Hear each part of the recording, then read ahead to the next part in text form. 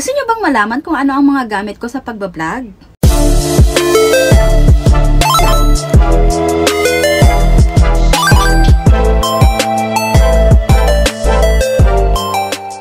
Bonjour mga be!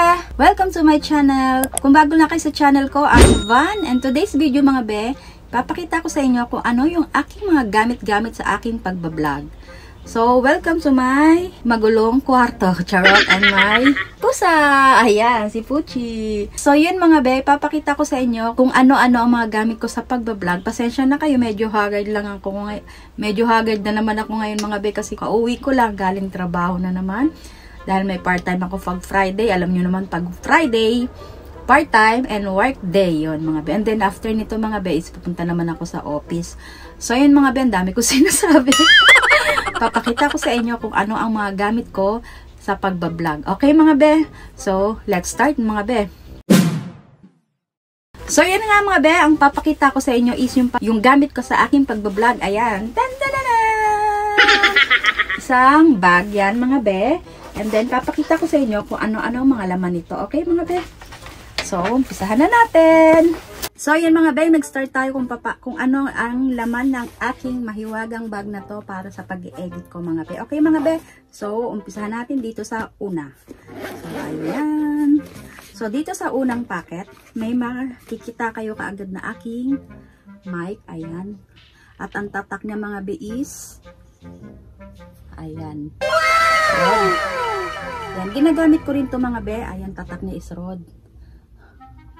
Na i-vlog ko na to mga be nung nakaraan. Naalala ko nandito sa link sa taas. Kung kailan ko nabili to mga be.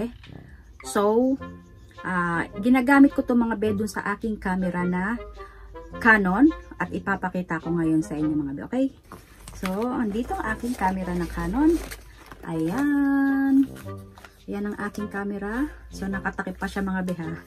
Kaya ganito itsura niya. So, ayan ang aking camera na Canon PowerShot G5X. Ayan. Wow! I-vlog ko na rin to mga be kung kailan namin to nabili ng aking Shiri. Hindi ko na matandaan kung magkano namin nabili to. Ayan. Naipakita ko na rin sa inyo kung paano gamitin to. Yan ang aking Canon. Ayan. Lalagay ko na lang yung sa description box yung uh, kung kailan ko na i-vlog to mga be. Okay mga be, yan yung aking Canon Power G5X. And then ipapakita ko sa inyo mga be kung paano ko nilalagay yung aking mic dito sa aking camera kasi dito ko yung ginagamit. Okay? So, ito yung aking mic mga be. So, lapit tayo. Huwag nyo nang pansinin yung aking malaking mukha ha. Maging immune na kayo sa aking malaking mukha, okay? So, ganito mga be, ayan. Papasok lang natin dito yan. Ayan. And then, after, itong pinaka wire nito, ito mga be is nabili ko to online sa Wish. Ayan. Kasi ang pinakadulo nito is hindi ganitong itsura niya, iba. Uh, malaki. Ito kasi medyo maliit lang to mga be, ayan. So ngayon, bumili ko sa Wish nito para maka magamit ko siya. Tagal ko rin bago siya nagamit mga be dahil wala ako nito mga be. So, papasok natin siya dito para kasi may ano siya dito, ayan. Ay Ayan. So, ayan. Nakapasok na siya mga be. Ayan. So, ganyan ang itsura niya mga be pag nagka-camera ako. Ayan. Ganyan ang itsura niya. Or kung gusto mo, pwede rin pabaliktad. Para na sa akin yung, yung pinaka-sounds. Pwede rin naman, ganyan. O, habang nagsasalita ako, ganyan.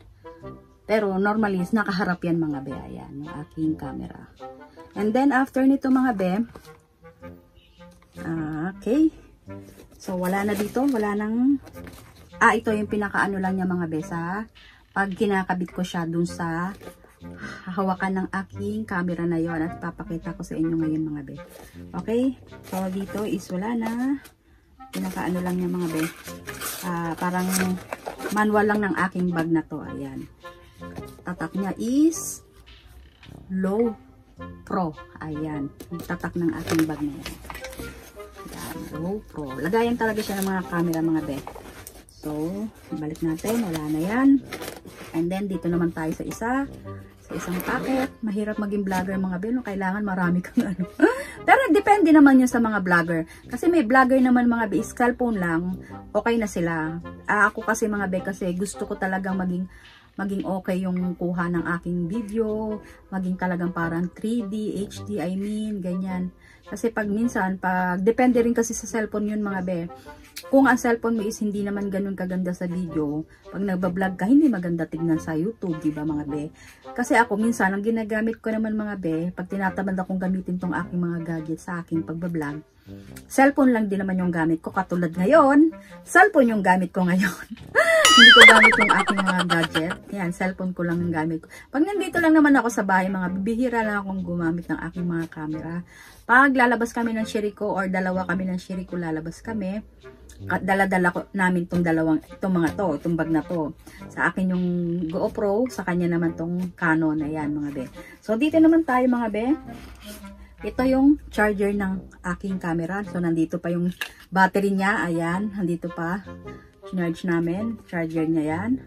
And then, yung SD card na isa ko, ng Samsung SD card. Ayan, pwede rin siya. Ayan. So, ipagsamahin na natin siya. And then, charger. Siyempre, charger para sa ano, power bank. Nandito din kasi yung power bank ko mga be. Ayan. Yan, socket. Kailangan, yan, wire. Dala-dala namin yan mga be pag ano, yan, wire uli. Socket para sa charger ng So, wala na rito. Okay. And then, dito naman tayo sa pinakamalaking uh, packet ng mga be. Okay. So, ayan. Tan-tananan! Alam mo, ang daming laman eh, no? So, ito naman mga be is ang aking gamit na para sa aking camera. Ang tawag nila dito is Joby. Ang pangalan is Joby. Uh, ayan, malaki siya mga be. At matibay to mga be ha. Ayan. Dito ko siya nilalagay. Ayan. Para ikaka pag kinakabit tong camera mga be, dito yan inilalagay. Ayan. Diyan nakalagay yan. Pag kinakabit yung camera, nakaganyan siya mga be. Ayan. Tapos dito siya ilalagay yung pinaka-camera niya. Ayan. Ayan. Matibay siya. Talagang quality. Napaka-quality nitong search nyo rin sa uh, Google mga be kung uh, magandang klase ang Joby. Ayan. Joby. Malaki siya. Siguro mga isang roller ang haba nitong aking uh, nakalimutan ko yung pangalan nito. Lagay ko na lang sa screen kung anong pangalan nito. Ayan. Yun ang ginagamit ko sa aking camera Then, meron akong screw. Kasi pang bukas nga dun mga be. Kasi matigas nga yung pinaka-ano nun. Dala-dala ko pa. And then, meron din ako dito. Ayan. Yung para sa, sa camera, sa computer ko. Pag nag-edit na ako, nandito na rin. And then, yung GoPro is wala dito kasi nandun sa bag ng aking Shiri, hindi niya na nilagay yung GoPro 8 ko. Yun ang gamit, gamit namin minsan. Ayun. Pati yung uh, charger nun. Ayun. So, hindi niya binalik dito kaya walang laman to. Pero normally mga ben, nandito sa loob yun. Yung GoPro na yun. Kasi nung Sunday, kung hindi ako nagkakamali, or last Sunday, uh, may ride siya. Pag nagra-ride siya kasi mga be, nilalagay niya yung GoPro doon sa ano niya, sa may helmet niya or kung hindi, hindi dito niya ng helmet niya, ayun, lalagay niya. Hindi niya na naibalik dito mga binakalimutan niya siguro. Kasi may bala kami bumili ng GoPro 9 mga be. Sa kanya yung GoPro 8. And then sa akin naman yung GoPro 9. Yung bago, di ba? so, yun lang yung laman ng aming mahiwagang bag na to mga be. So, hindi ko na naipakita sa inyo yung GoPro na yun. Kasi meron pa rito. Ah, wala ring laman yan. Ayan. Kasi nandun sa bag niya, hindi ko na nakuha, nakalimutan niya ibalik dito. So, yun. Every lalabas kami mga be, nung nakaraan na pumunta kami ng Disneyland, dala-dala niya to. So, ayan, gamit niya namin to. Ayan, mga yan. Gamit-gamit namin yung mga yan, mga be.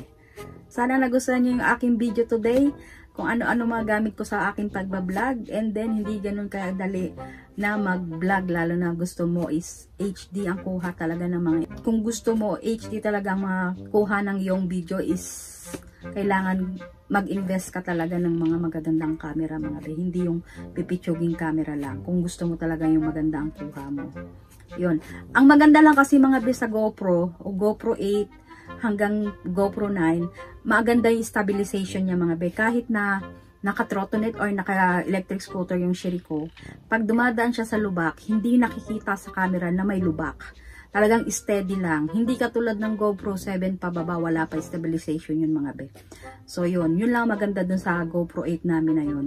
Kaya ngayon, bibili kami siguro ng pag may pera, pag may ipon uli, bibili kami ng GoPro 9 yon para sa kanya yung GoPro 8, akin yung GoPro 9. Kasi kailangan talaga namin sa pag ayun. Yan, talagang nag invest ako mga be para papano hindi naman totally invest na ano kasi sa gamit ko rin naman yan sa pag youtube mga be hindi naman ako uh, ano lang sa youtube. Kay, pang matagalan tong gagawin ko kaya kailangan mo mag-invest talaga ng gamit yon So, alam ko sa iba is hindi maganda, hindi practical. Siguro sa kanila yon pero sa akin is para rin naman kasi sa YouTube yun. Uh, for the future, hindi naman ngayon lang, 'di ba? Ay sana naintindihan ibig ko sabihin. Kaya ako nag-aano na mga gamit para sa pagbo-vlog. 'Di ba mga be? So, yun lang mga be. Sana nagustuhan niyo aking pagpapakita ng mga uh, gadget ko pag sa pagbo-vlog. Kahit wala yung GoPro rito. So, see you on my next vlog mga be. Uh, but before we end mga be, please subscribe my YouTube channel. And don't forget to click the notification bell para updated kayo sa lahat ng aking mga videos.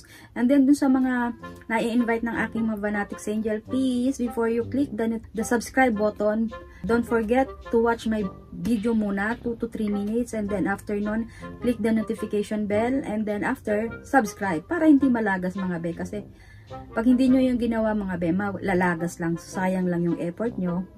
So, yun lang mga be. Salamat and see you on my next vlog. Bye! Mwah!